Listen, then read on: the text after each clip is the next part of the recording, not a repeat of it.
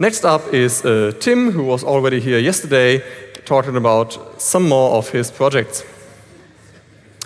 Hi, I'm Tim. Um, next slide. Uh, that's me. Next slide. I'm from Australia. And next slide. And I have too many projects. I also have too many slides. Next slide. I need help. I really need to sleep. Next slide. Uh, if you use Python, these two things should be good for you. Next slide. Um, if you use dates, use Python datetime TZ. It will make your dates correct when you're going around the world. Next slide.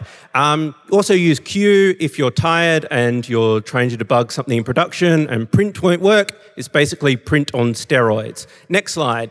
I don't just like doing small projects, I also like doing uh, big projects. Next slide. Uh, TimVideos is basically a bunch of projects to do conference and video recording.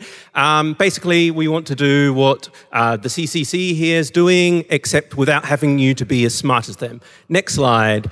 Um, I've trying to develop a system in a box. Um, we need your help doing that. Next slide. Um, before uh, we stream it though, you need good content. I can't help you make better content, but I can help you make better readable content. Next slide. Uh, so I developed a tool called SlideLint that actually tests your um, slides. Next slide. Uh, it's basically got a command line interface if you want to run it locally. Next slide. It has a website interface. Next slide. And it tells you whether your text is too close to the edge of the screen, whether it's low contrast, etc. Next slide. Um, so, how do you do live streaming? Next slide. Uh, this is how you do it. Uh, the things in red are the parts I'm working on. Next slide. Uh, the first thing is you need to be able to capture the presentation. And so we're developing a piece of open source hardware called HDMI USB. Um, it's based around an FPGA. Next slide. Um, this is kind of where it fits in the system. Next slide. Uh, those two things there. Next slide. Um, there is two firmwares. There's an old firmware written in VHDL and Verilog. There's a new firmware written in Python. Next slide. Um, the new firmware's uh, really good. Um, uh, it's much easier to work with than the old stuff. And next slide. Um, we also have developed open hardware because it doesn't matter if your firmware is open, if your hardware isn't. Uh, next slide.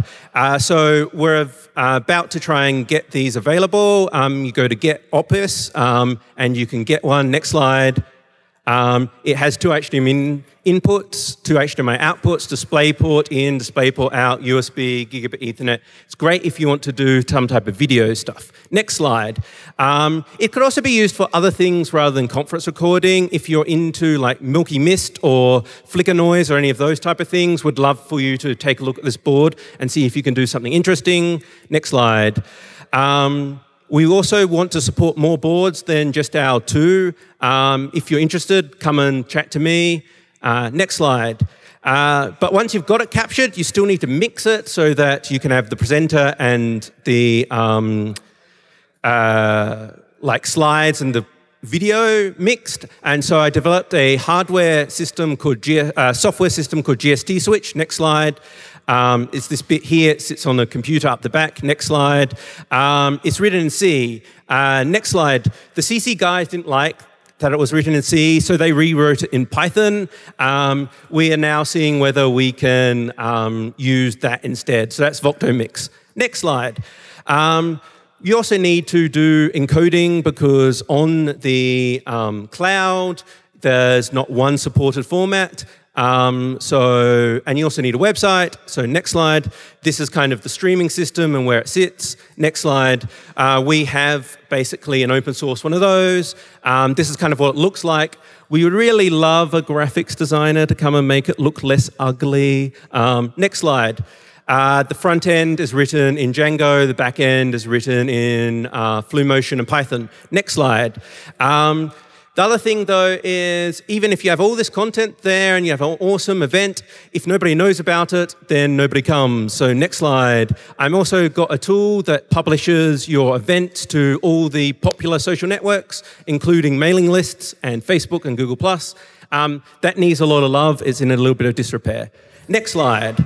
And that is everything. Um, so, just to reiterate, uh, TimVideos, uh, SlideLint to check your slides, HDMI2USB to do capture, uh, GST switch or Voctomix for mixing, the streaming system for like the website stuff and events everywhere to get your events everywhere. Thank you.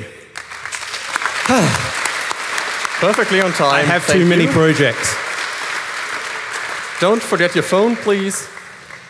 And it was awesome. It was just on time.